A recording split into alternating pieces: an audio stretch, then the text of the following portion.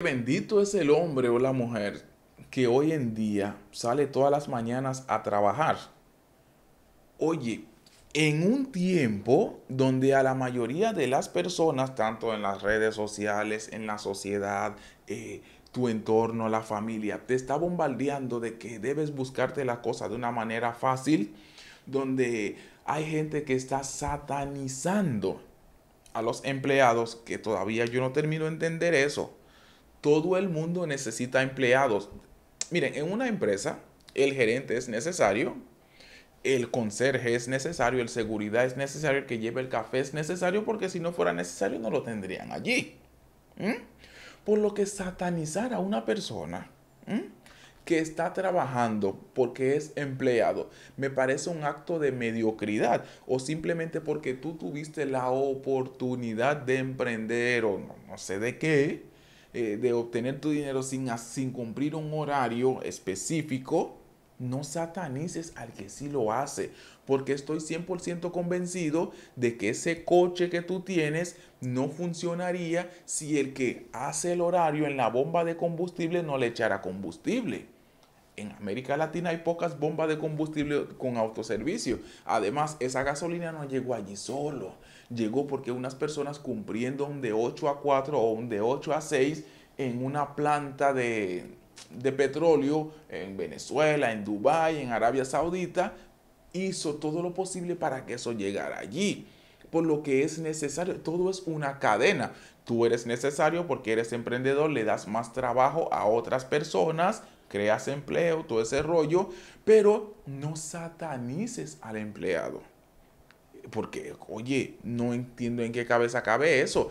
Pero les decía, el tema Génesis Bendito sea el hombre y la mujer que hoy en día sale a trabajar temprano porque estamos hablando de que ahora estamos en la época del OnlyFans, de que la mujer que tiene un cuerpito bonito, eh, mucha gente le hace propuesta para que se venda en las redes sociales o que busque un viejo que la mantenga.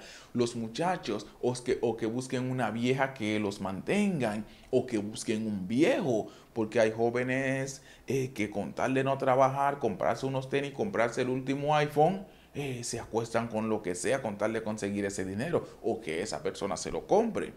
Entonces tú, que eres una persona que estás trabajando honradamente, oye, tú eres de admirar.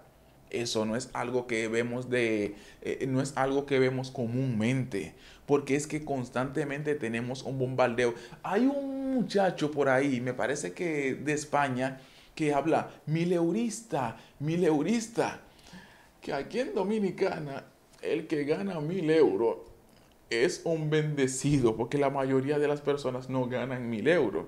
Mileurista satanizando al empleado donde él, si no hubiera gente empleado, él no podría vivir. Que de hecho él vive de los empleados, porque la mayoría de las personas que están suscritos a sus, a sus pendejadas son personas que son empleados.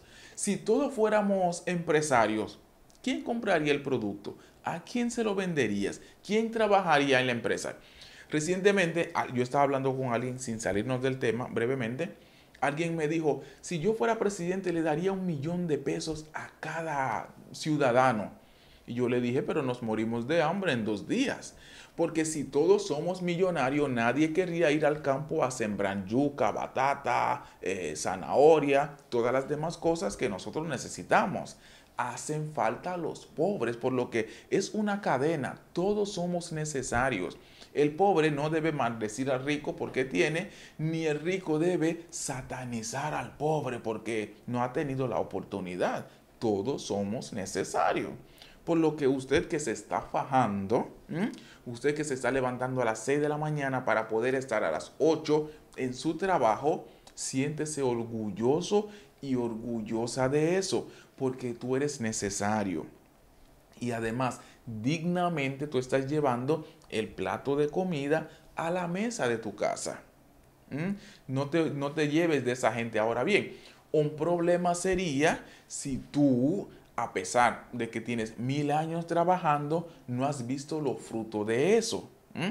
Allí sí habría un problema, pero tampoco soy quien para meterme en eso. Por lo que sí te recomiendo que sigas trabajando. De verdad te felicito, estoy orgulloso de eso. A ti, mujer, a ti, hombre pero trabaja con cabeza, ahorra, invierte, aunque sea en una, en una paletera y poner a alguien a trabajar mientras vas a hacer el horario. Pero si diversifica tus fuentes y no, es, no lo hagas de forma desesperada, edúcate al, al, respecto. Ojo, tampoco es que soy un gurú de la finanza, yo no, yo no vendo cursos ni nada por el estilo. Diversifícate, es como el famoso dicho que dice que no pongas todos los huevos en una sola canasta. Es la cosa. Trabaja con cabeza, ya verás. Ahorra, invierte. En ahorrar y invertir es que está la cosa. No vivas de la apariencia. Si tú tienes un iPhone 10 que todavía funciona, pero todos tus amigos, todos tus eh, compañeros de trabajo tienen el 15 o el 16, no te sientas mal por eso. La funcionalidad de un iPhone es tú comunicarte y tomar foto. Tú lo haces. No sientas la presión, no te metas una soga al cuello sin tú poder hacerlo, simplemente por llenarle los ojos a los demás. Que esa gente tú no sabes a veces los sacrificios que hacen o las oportunidades que han tenido que no han sido las mismas tuyas. Por lo que, nada, ese es mi simple consejo, mi humilde consejo. Eh, yo no vendo cursos ni nada por el estilo, ni soy un de esa gente que te dice, eh, coge ese link. No, no, no, no, no. Nada de eso.